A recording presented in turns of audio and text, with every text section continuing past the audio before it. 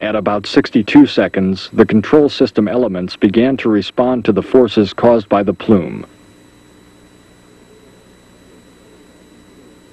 As recorded on E207 and E204, the first visual indication that the anomalous plume penetrated the external tank was seen at 64.66 seconds as an abrupt change in the shape and color of the plume. This is an indication of hydrogen leaking from the external tank. At 64.705 seconds, a bright sustained glow developed between the orbiter and the external tank. Slight changes in the hydrogen tank pressure telemetry data confirmed the leak 2.2 seconds later at 66.8 seconds, when the LH2 tank pressurization system could no longer maintain its normal repressurization rate. At 72.6 seconds, the LH2 tank pressure could no longer be maintained, indicating that the leak path had significantly increased and was growing rapidly. At 72.2 seconds, the guidance system showed that right SRB motion diverged from the orbiter and left SRB, indicating that the lower ET SRB strut was severed or pulled loose. During this time frame, exaggerated steering commands and control system responses registered in telemetry data. At approximately 73 seconds, both liquid hydrogen and liquid oxygen pressure to the main engines showed a significant drop. This was followed at 73.124 seconds by the appearance of a circumferential white pattern around the ET aft region, suggesting LH2 tank structural failure. 13 milliseconds later, at 73.137 seconds, vapor was observed at the inner tank, indicative of the liquid oxygen tank failing. This can be attributed to abnormal loads induced by either the right SRB rotation at the forward attach point or the propulsive forces created by the LH2 tank aft bulkhead failure, probably both. Within milliseconds, liquid oxygen was observed streaming along the external tank. At 73.191 seconds, a flash was observed between the ET and orbiter that was immediately followed by the start of total vehicle breakup at 73.213 seconds. During the next 100 milliseconds, additional flashes occur in the SRB forward attach area, as the ET broke up, the released fluids vaporized rapidly, producing an expanding cloud of gases, vapors, and cryogenic fluid with embedded debris and localized combustion of mixed gases.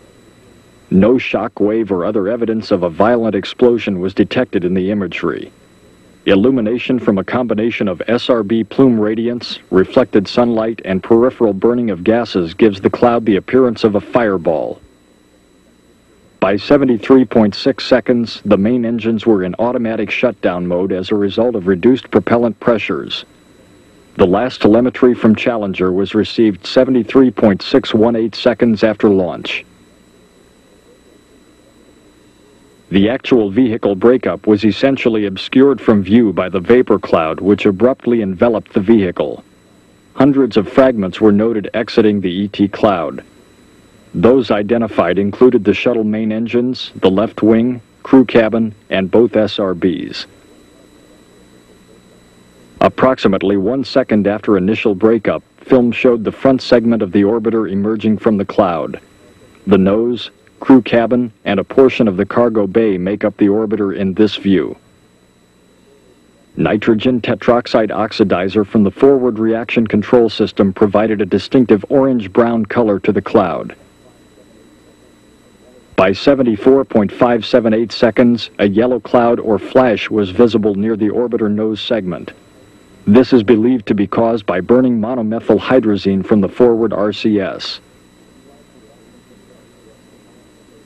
The flash reaction from the RCS propellants abated, revealing separation of the nose section from the crew cabin. Less than a quarter of a second later, the crew cabin was noted to be severed from the cargo bay. Igniting of propellant discharge continued to be observed from the forward RCS.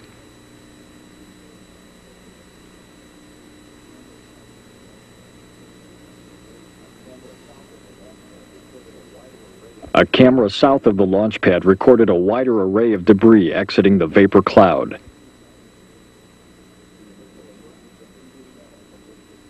The initial emergence of the crew cabin from this perspective was at 75.237 seconds.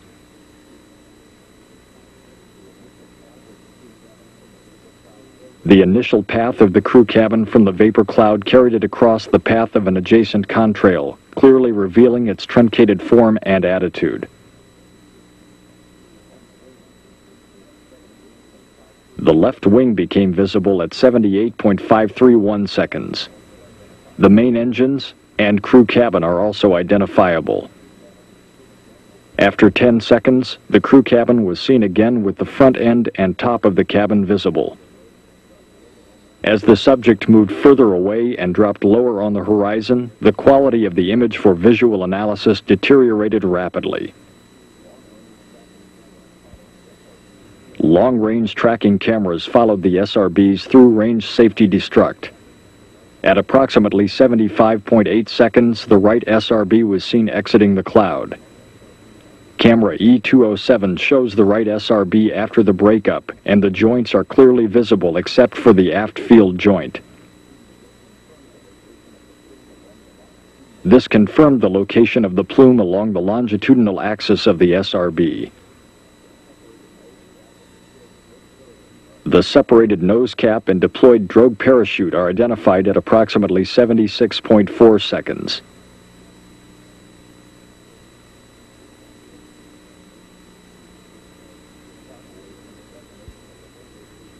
The shock wave from the detonation of the linear-shaped charge on the right SRB can be seen clearly.